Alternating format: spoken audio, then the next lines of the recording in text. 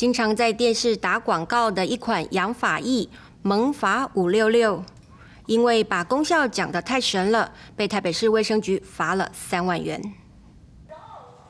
电视购物台主持人卖力的推荐，还放上使用前、使用后的照片来做比对，一旁的字幕也不断的出现“减少落法、预防掉法”等字样。新北市卫生局公布药物化妆品广告最新查处的情形，其中知名厂牌萌法五六六养发液，因为夸大效能，代售的广告主被开罚新台币三万元。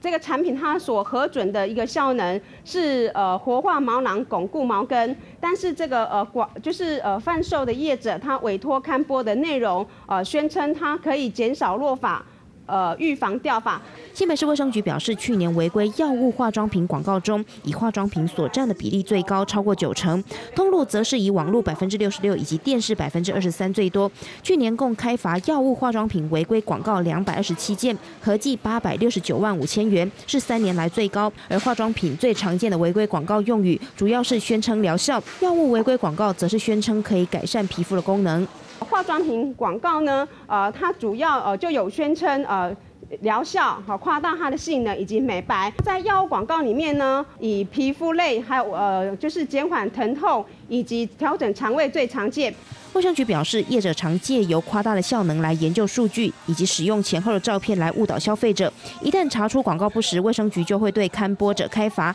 卫生局也提醒民众，广告内容如果太夸张、太吸引人，消费者就要有存疑并进一步求证，以免上当受骗。记者吴雅瑜、林国煌新北市报道。